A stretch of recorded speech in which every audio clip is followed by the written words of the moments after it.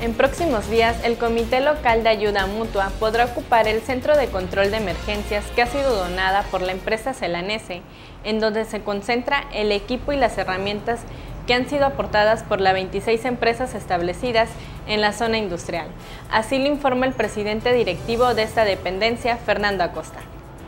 Los ayuntamientos de Pajapan, Coatzacoalcos y Aguadulce son los únicos municipios en la región que reportan cobros por el uso de zonas federales cuyo dinero es usado por las propias administraciones gubernamentales, así lo informa el coordinador de la Secretaría de Medio Ambiente y Recursos Naturales en la zona sur, Juan Domínguez Hernández.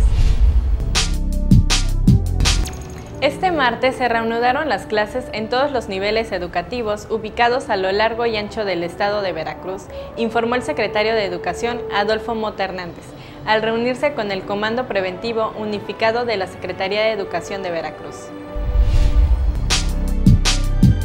El presidente Felipe Calderón dio la bienvenida a su homóloga de Costa Rica, Laura Chinchilla, y señaló que su visita de Estado refleja el amplio entendimiento político que caracteriza la relación entre ambos pueblos.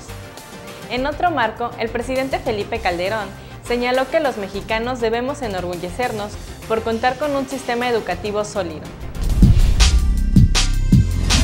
El secretario general de la ONU pidió a las fuerzas leales al líder libio Gaddafi que depongan inmediatamente las armas y dejen paso a una transición sin contratiempos en Libia. También en el mundo, la tormenta tropical Irene se convirtió en el primer huracán de la temporada de ciclones del Atlántico, en la costa norte de Puerto Rico al aumentar sus vientos máximos sostenidos a 120 kilómetros.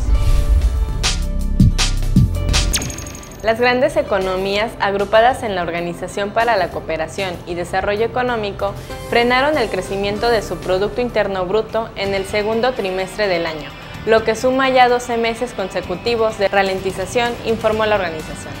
Por otra parte, confirma Pemex nuevo yacimiento con promedio de 5.600 billones de dólares localizada a 87 kilómetros de Ciudad del Carmen.